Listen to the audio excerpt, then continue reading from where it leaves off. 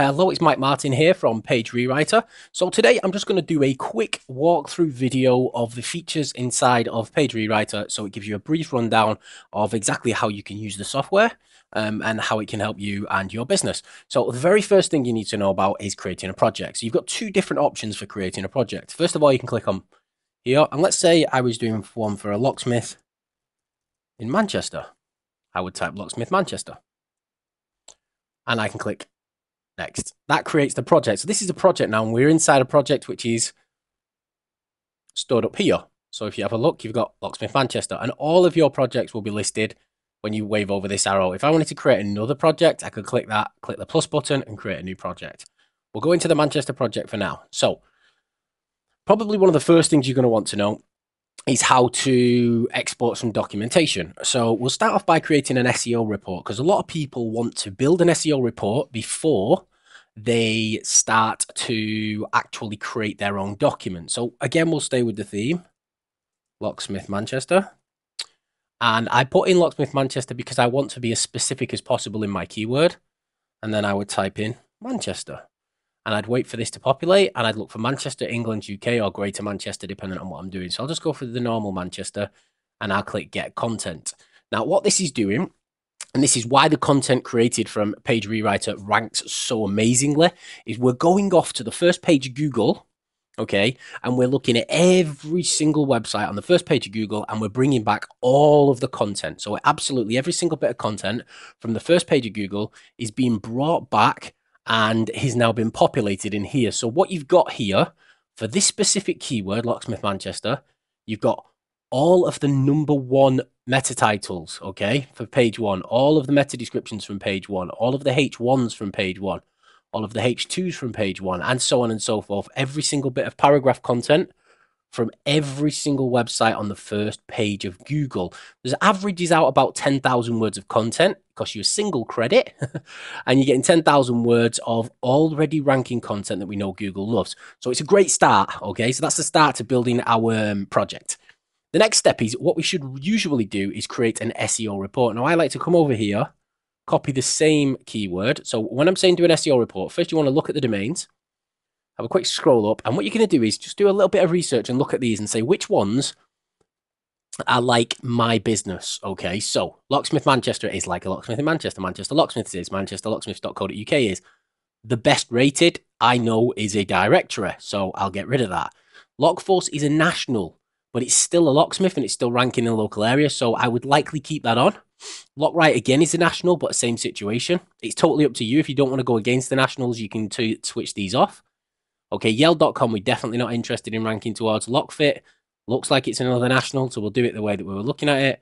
Uh, Checkatrade, that's a directory of businesses. And Keys for You Locksmiths, I don't know if that's a national or not. We'll, we'll, we'll leave that on. So we've got four websites. In fact, no, we'll turn that off we know these three are definitely the top three are definitely local businesses. Okay. So we switch those off. And what that's going to do is that's going to block them from the report. It will also block them from up here. So now if you have a look, you've just got the top three meta titles because we're saying we don't want the information provided from here. Right. So now we go into the SEO report. We paste in the keyword we used previously and we type in the keyword we've used previously and select the same selection. You don't have to. Okay, but what we want to be doing is using the content that's been pulled from these locations, compare our sites to the sites that's like us, and click generate report. Okay, when you generate this report, click view report. And as you can see, SEO report for Locksmith Manchester. This report was generated, it gives you the date, tells you the keyword, it tells you the location. Um, average keyword mentions on the page is 84. So full keyword Locksmith Manchester found in website. So that means the actual keyword exactly as, as we've written it, Locksmith Manchester, was found 84 times on average between these three websites. Okay. So that means there's a lot of keyword stuffing going on, um, but it's working. Then you've got average keyword locksmith equals 192 times, and um, average keyword Manchester is 166 mentions. Okay. Meta title 100% of the competition, okay, had the keyword locksmith Manchester in their meta title. Okay. 67%, so out of three websites, 67% had the keyword exactly as we've written it, Locksmith Manchester, in their meta description. All right. So that means two out of the three had it in the meta description. Um, Average number of H1s equals one, so they're all following the rules and only having one H1 on the page. Average keyword mentioned equals one. Okay, so they mention H1 once. Average number of H2s, there's a heck of a lot of H2s on there. 21 H2s, okay, which tells me that having lots and lots and lots of H2s on a page is good for SEO because as we can see, these are guys are having um, 21 times, and these are the top three for a very difficult keyword.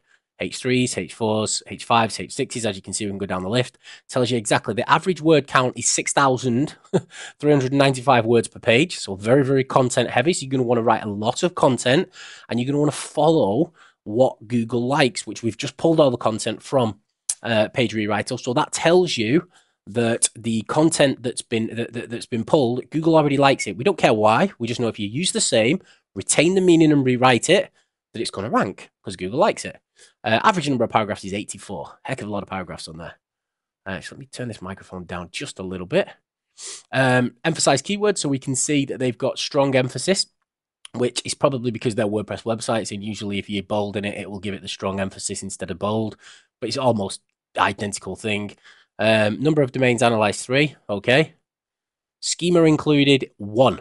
That means only one of the three websites actually has schema.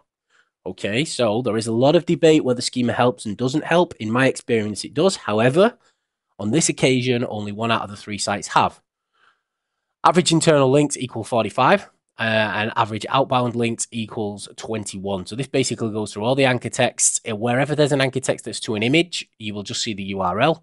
Otherwise, you will see what the anchor text actually is. Cracking reviews, areas we cover, types of locks, or the actual URL to what they're going to, which is normally an image, as you can see, says JPEG on it.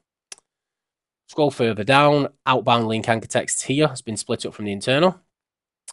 Average number of images is 49 images, and average average number with alt text, uh, alt tags is 22. Okay, and this is a list of all the alt text that they're using in their images. So on average, half of the site page, um, half of the websites on the page are actually got alt tags in them. Okay, so that's the SEO report. You download the SEO report and you're going to use that. Okay. The next thing you want to do is be able to create a document.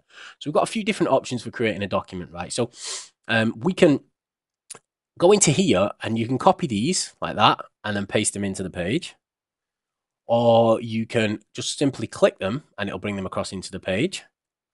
Or before using them, you can actually edit them. So you can go in and edit these things.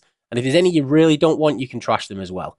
Okay. But when we're talking about editing them, we do that. What, we do is we get a lot of content that we like. Okay. We trash a lot we don't like. We edit them and then we'll use something called a template and we'll create a, a document from a template. But let's say we've not got enough content here and we want some more. We'd go over to the related searches.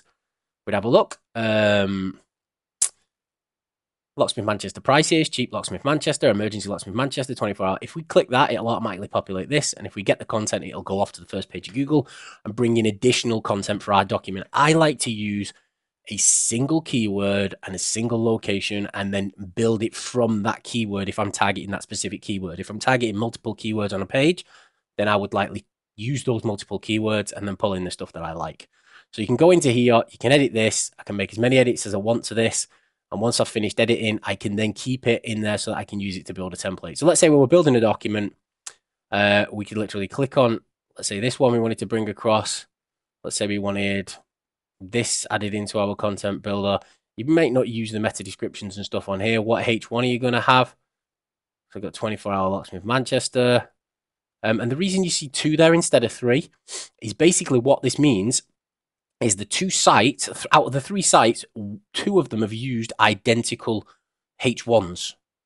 Okay, it doesn't tell us which. It might be something we add into the software in the future, but it, either Locksmith Manchester or 24 Hour Locksmith Manchester has been used, um, and I'm assuming it's the Locksmith Manchester by two of the websites in their H1.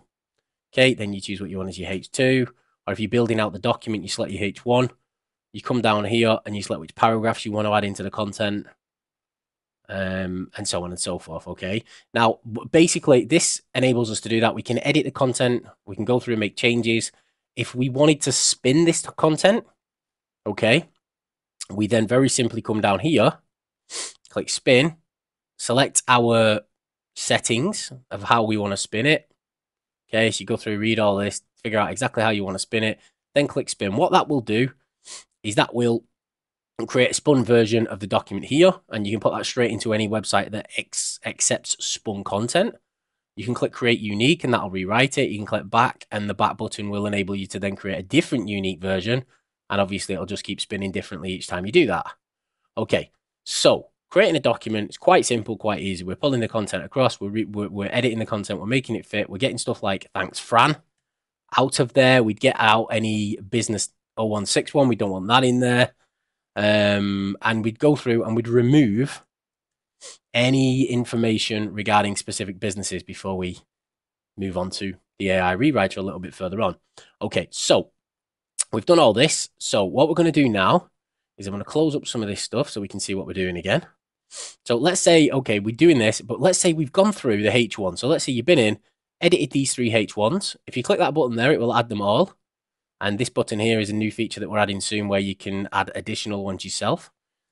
Um, so if you wanted to um, now build from a template, so let's say you've gone into here, you've edited this and made it so that it's not got the number one in it, it's not got the 50 pound in it, it's not got this whatever stuff you don't want. On this one, you get rid of the phone number. Uh, this one, you get rid of the, I don't know, 39 pound maybe. Maybe you'd keep it, right? Then what you do is you go through and edit all the content so it fits your needs, right? Once you've done that, okay, you can create what you called a content template. So let's say this was our SEO content template. So we come over to this page and let's say we wanted our SEO content template to have a H1, two paragraphs, H2, two paragraphs, H3, two paragraphs. Um, did I press H3 then or H2? H3, sorry, I pressed H2 twice. Uh, two paragraphs. And let's say that's it. So let's say our content template is one H1, two H2s, and one H3. Okay, we save that. Okay, then we come back into here and we click auto build from template. Click the SEO, click select, and what this is going to do, this is going to go over here. It's going to pull a random H1, two random paragraphs, random H2, two random paragraphs. Uh, I'm a little bit lost as to where the rest are on the training, guys. Maybe I should have done spaces in them, but you get the idea. What you can also do inside of them templates, if you're going to be using it that way, is auto build from template. Click on that. Let's click edit. Let's click next, and you could just simply give these a H1 value, H2 value, H2 value. If you want to do this for ease of finding where it is, or you can just leave spaces, as I said, so you could just leave a couple of spaces like that between each one, and then you'd know what is what. Um, but now, if we click auto build from template, it's going to completely build a brand spanking new document, which is completely different, as you can see. But this time it leaves the spaces. So if I'd have left the spaces, you'd have seen the difference. I don't do this when I'm creating it. I'd probably leave the spaces, and the reason being is the AI rewriter when it does work, uh, when we do use it later, it's going to pull out the, any formatting. Um, and unfortunately, we can't keep the formatting in with the rewriter because of the way it actually works and it reads everything. Okay, so next thing, we've done the spin content, create a document from a template. We've gone through that, guys. Uh, let's have a look at the FAQ builder. So we've got an FAQ builder here, which enables you to build from questions. So how much is a locksmith, let's say? Now, this is great content to add into your um, in, into your web page because a lot of people search with questions. How much is a locksmith? How much is it to put up a fence on a per meter basis? Um, how much is it to get my living room decorated and such things like that? So we'll go into here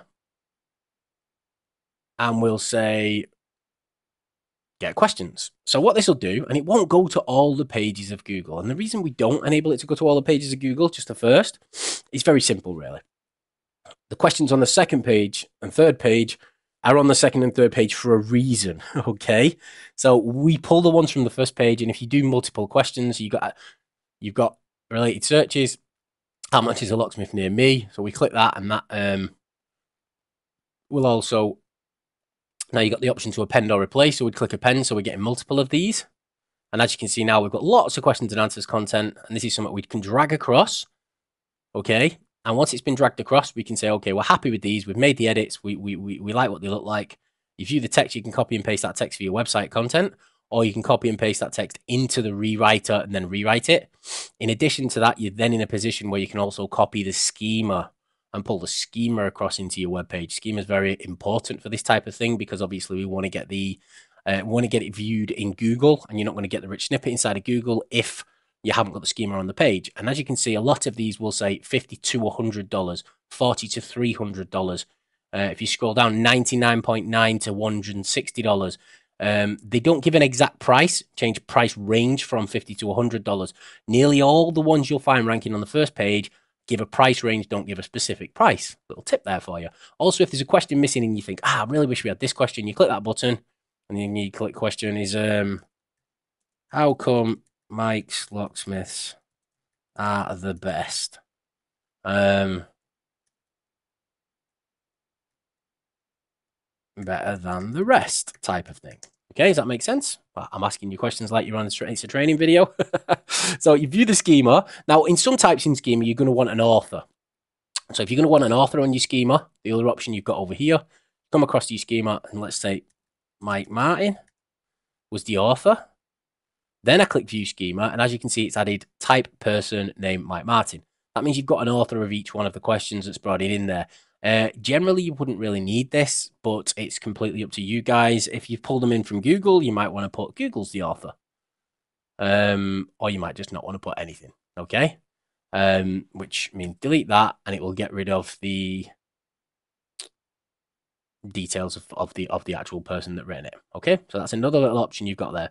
So we can save that. Again, similarly, um, similar to what we were doing previously, you have an edit button here, you have a copy button, you have a delete button. So if one comes up that you want to change, but you like it, you want to make edits, you can just click that edit button and go in and edit it and then save it. Um, and in addition to that, if you don't like it, you just click delete and it'll disappear. And finally, okay, so let's go and get some. In fact, let me auto build from content. Let me get rid of this um,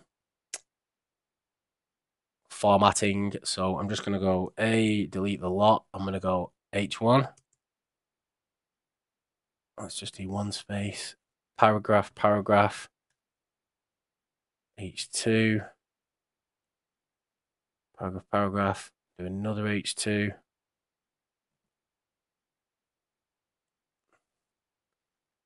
Paragraph, paragraph space H3, paragraph, paragraph. Okay, so we've done it like this. We've kept it how it is, and then we're going to click save.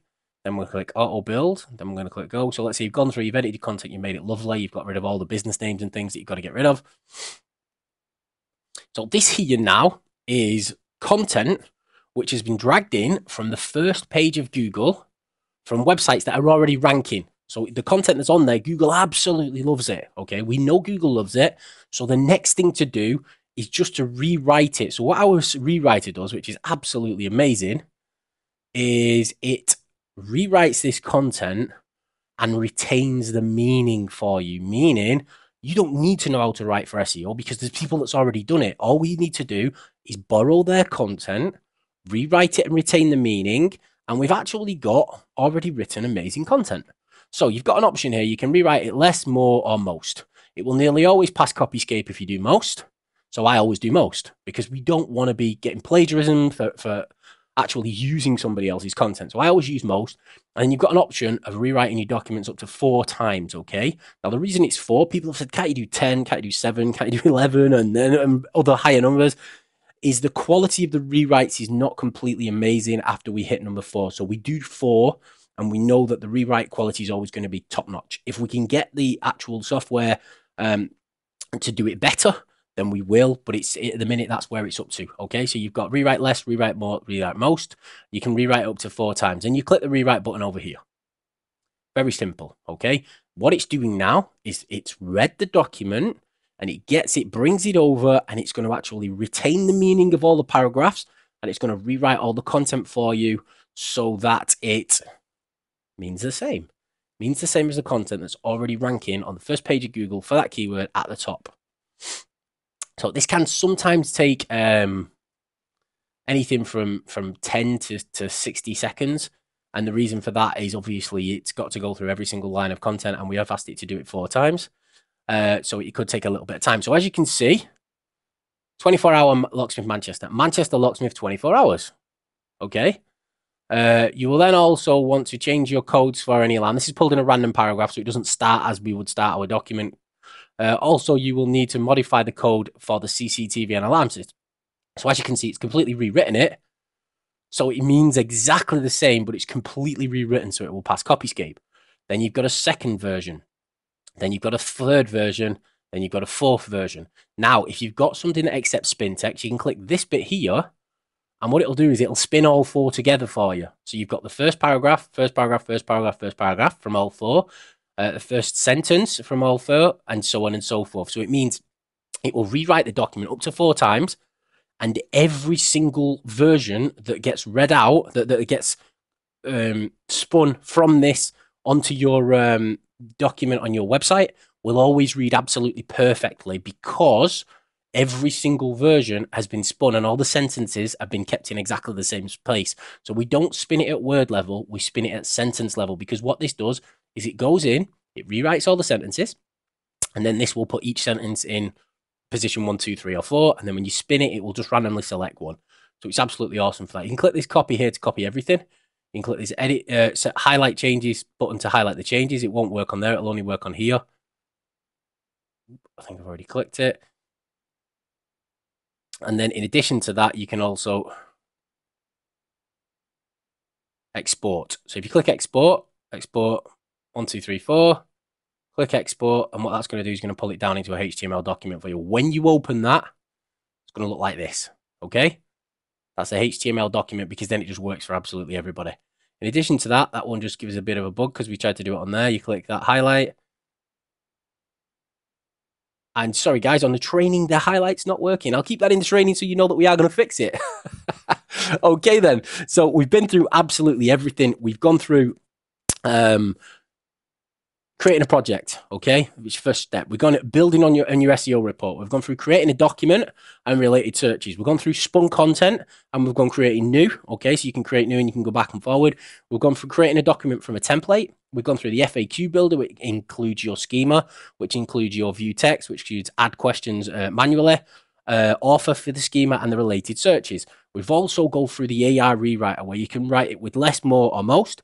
Uh, you can rewrite one, two, three, or four times you can spin multiple of those together. Uh, you can copy it, you can highlight the change, which unfortunately didn't work properly today, which we'll all have fixed, and you can also download.